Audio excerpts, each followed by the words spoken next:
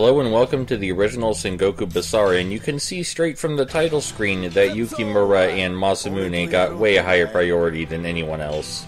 We're going to be playing as Masamune for this demonstration of the original game because who else would we be playing as?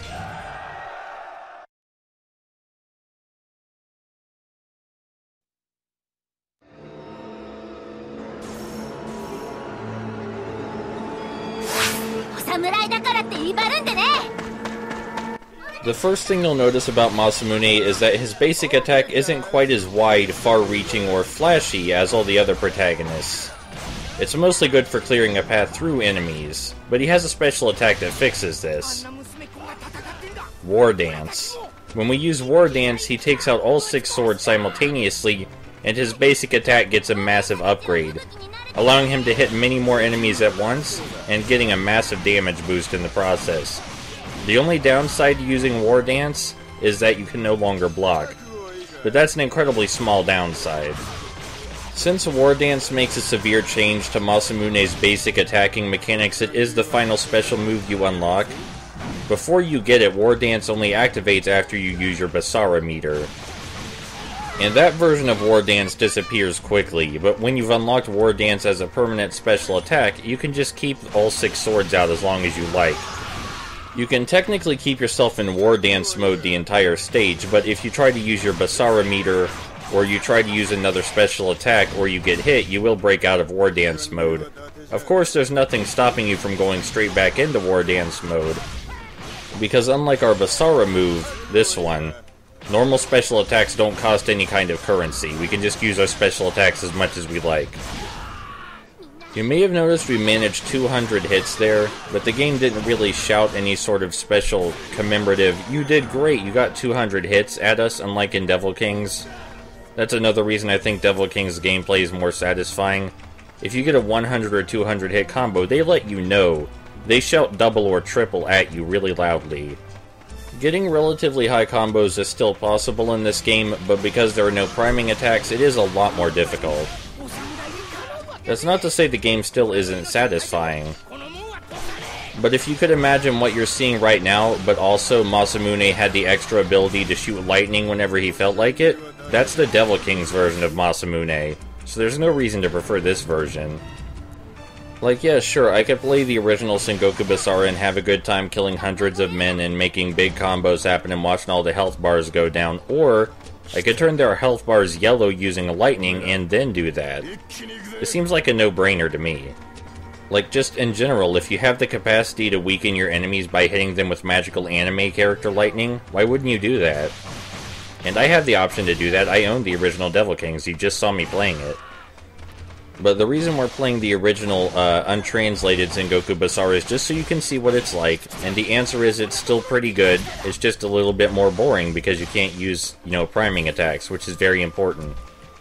If you're wondering why the footage looks so great compared to the Devil Kings footage, that's because this is on the HD collection. This is from the Sengoku Basara HD collection which collects the original Sengoku Basara and Sengoku Basara 2 and Sengoku Basara 2 Heroes. Of the three, Sengoku Basara 2 Heroes is definitely my favorite. It's really not even a contest. And while I think Devil Kings is a better game than the original Sengoku Basara, Sengoku Basara 2 Heroes is by far a better game than Devil Kings. Sengoku Basara 2 Heroes just adds so much more nuance to the special attacks that it makes up for any lack of priming attacks. That's not to say the game doesn't have priming attacks, because some of the special attacks are actually still priming attacks. I believe it's the only other game in the series with priming attacks besides Devil Kings. But the stuff the later Sengoku Basara games pull, they make priming attacks look like absolutely nothing. So if you ever hear me saying Devil Kings is better than Sengoku Basara, keep in mind I'm saying Devil Kings is better than the original Sengoku Basara, and if you have the chance to play any of the later Sengoku Basara games, you should go do that. Preferably, you should play Sengoku Basara 3, which was localized as Sengoku Basara Samurai Heroes, but any of the later games will do. I still think it's really easy to see the appeal of these games, even ones as simple as the original Sengoku Basara, Sure, Devil Kings may do it more satisfying, but if you had to come home and play the original Sengoku Basara instead of Devil Kings, I don't think that'd be the world's greatest disappointment.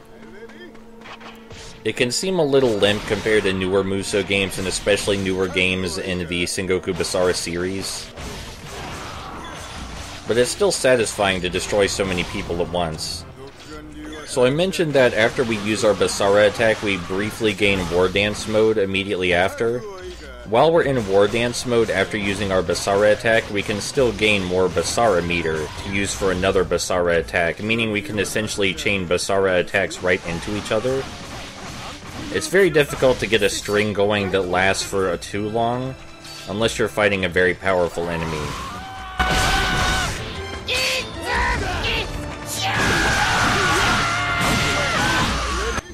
So yeah, the voice acting in the original Sengoku Basara was just as absurd and over the top. Don't let anyone tell you it wasn't. This game was always crazy and stupid. Devil Kings is slightly crazier and stupider in some great ways. But it's still definitely on brand for the Sengoku Basara license. So as we approach Itsuki up here, you'll notice she's surrounded by these large men with hammers, and they can make the fight with her really difficult if we let them stay around while we battle her.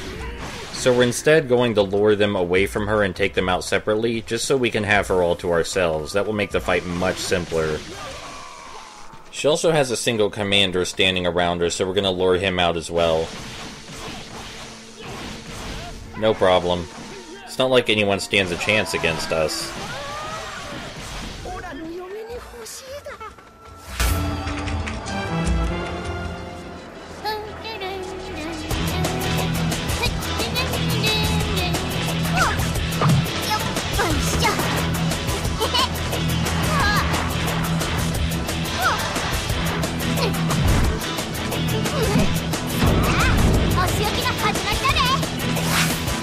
So Itsuki has a big ol' ice hammer, but in spite of that, she actually moves pretty fast, even with the ice hammer. She's capable of throwing the ice hammer and instead using closer range melee attacks, which stun lock us very easily, but we have a much further reach than she does when she throws her hammer away. Her hammer will always come back to her eventually, though. We're going to avoid using War Dance during this fight, because we'll easily get knocked out of it, and the time it takes to activate War Dance will allow her to hit us.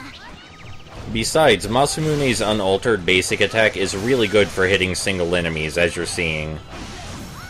It's much better than trying to attack crowds with it. We also have Magnum Step, which is a really powerful dashing move that should not be underestimated. You can break almost every enemy out of their attack with it, and it has such a range on it that it's unlikely that their attacks will hit you while you're using it. We're gonna pull War Dance back out because Itsuki is defeated for now, and we have a whole lot of regular dudes to fuck up. Magnum Step is also capable of stunning, I believe, every character in the game.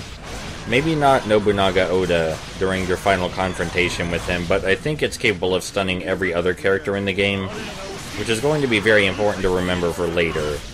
It's a very powerful if unassuming move. It just appears to be a regular charging attack at first, but it has so much more capacity to be great.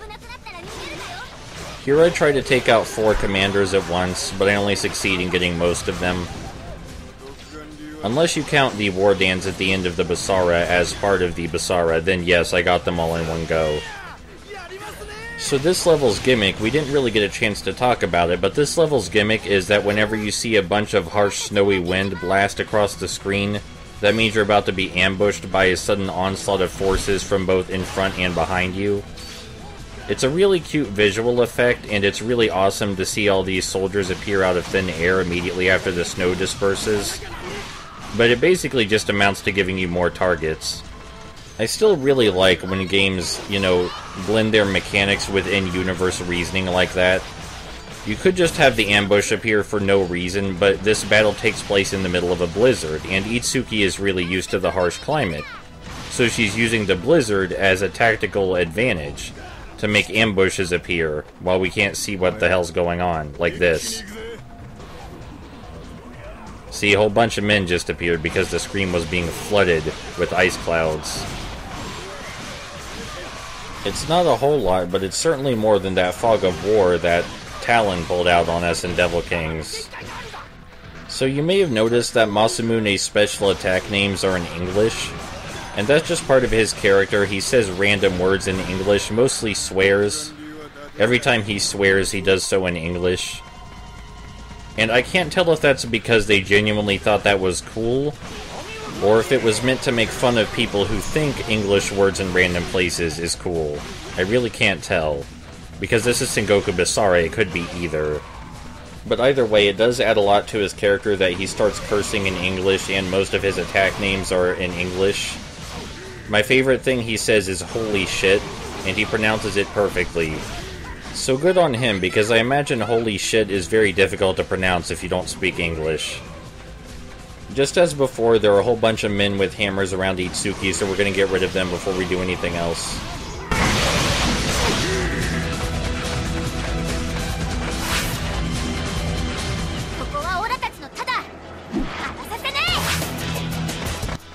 So I do hope you enjoyed this demonstration of the original Sengoku Basara, just in case you were curious what it was like, what the differences were between the two games. And the answer is that Devil Kings is basically an expansion pack, where they get a whole bunch of new attacks. Or at least an expansion pack where 12 of them get new attacks, but not the other 4. But still, that's a pretty good deal.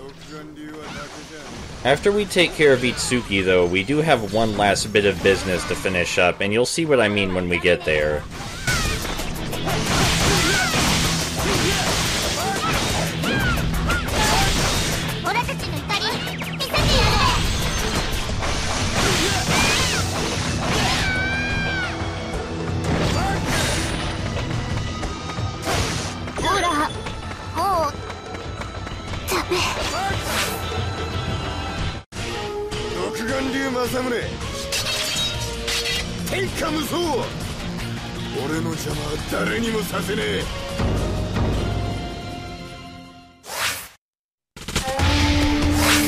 So in several Musou games, there's one powerful character that you're meant to either cower away from or at least see as a serious threat, in stark contrast to all the other characters.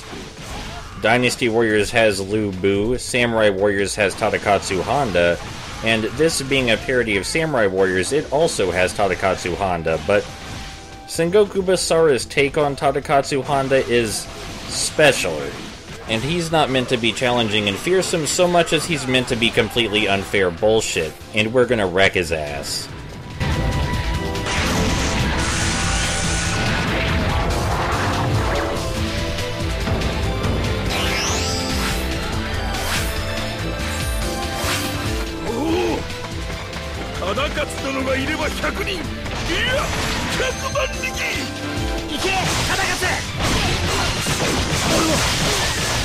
家康に本田忠勝我ら伝説と戦うのか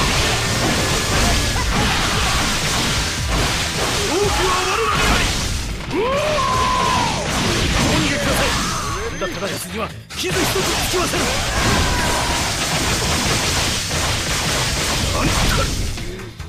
許す。まじやつが来たぞ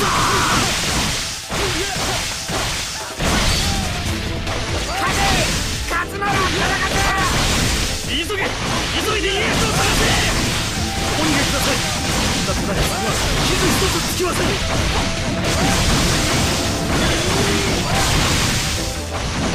し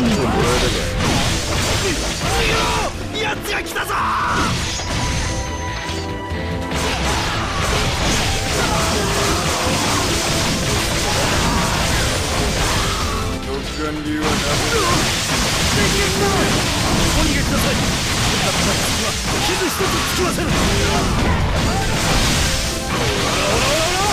逃んだ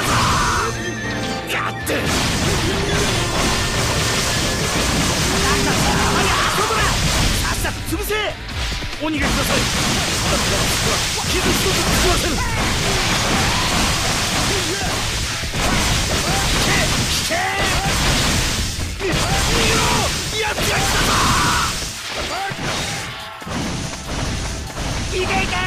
負けるな忠勝お逃げください。本田忠勝には傷一つつきませぬ忠勝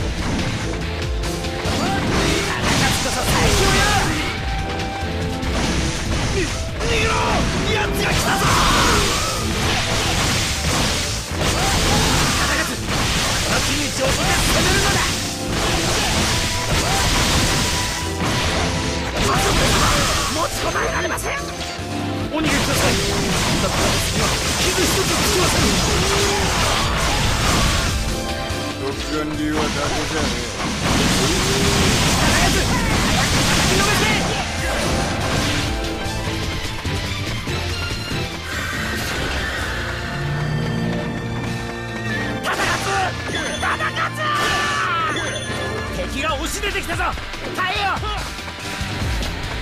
Yeah, so that fight is complete nonsense. You saw how quickly he was annihilating me. But we did it. We killed his ass. We killed his ass good. So that was Sengoku Basara and Devil Kings. I hope you enjoyed the Let's Play. I had a good time showing off Devil Kings. I'll see you guys next time.